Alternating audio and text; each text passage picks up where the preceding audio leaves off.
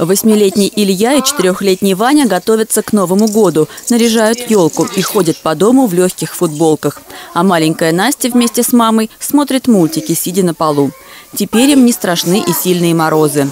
В дом по программе социальной газификации провели голубое топливо. Глава семейства не нарадуется. Экономия на лицо, ведь раньше для обогрева помещений использовали электричество. Зимой выходило по 12-13 тысяч рублей в месяц.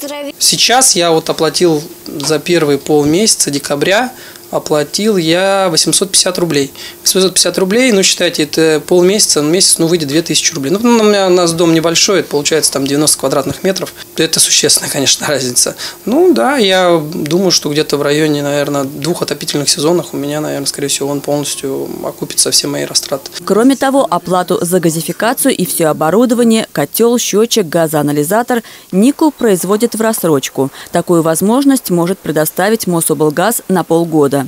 Для многодетной семьи это большой плюс. Газификацию домовладения провели быстро. С момента подачи заявки до подключения ушло около трех месяцев, а сами работы заняли менее трех дней. Многие, да, с удивленными глазами на все это смотрели и спрашивали, ой, слушайте, да, вот неужели это все это работает, все, программа работает, действие. Я говорю, ну, по крайней мере, на, на данном моем случае, да, в моем случае все работает, программа, да, все отлично, как бы мы довольны.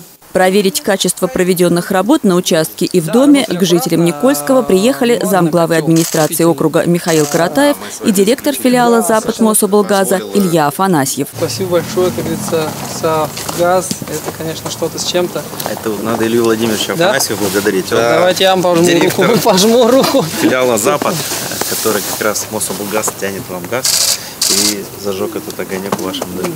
Нику провел небольшую экскурсию по участку, показал установленную трубу, рассказал, что рабочие делали все аккуратно, а затем пригласил гостей в дом познакомить с семьей.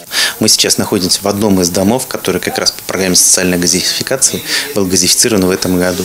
В этом доме живет семья из пяти человек, двое взрослых, трое детей, и, соответственно, они получили возможность дешево и комфортно отапливать свое жилище.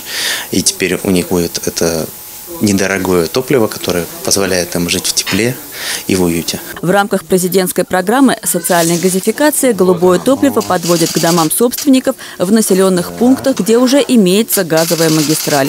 Сегодня в округе к газу подключено 719 домовладений. До конца следующего года планируется газифицировать более 12 тысяч домов. На сегодняшний день у нас работы ведутся в 60 населенных пунктах, в 48 они уже закончены. На следующий год запланировано еще 110 населенных пунктов, которые будут догазифицированы по программе социальной газификации. Наталья Гончарова, Артем Ломоносов, телекомпания «Одинцова».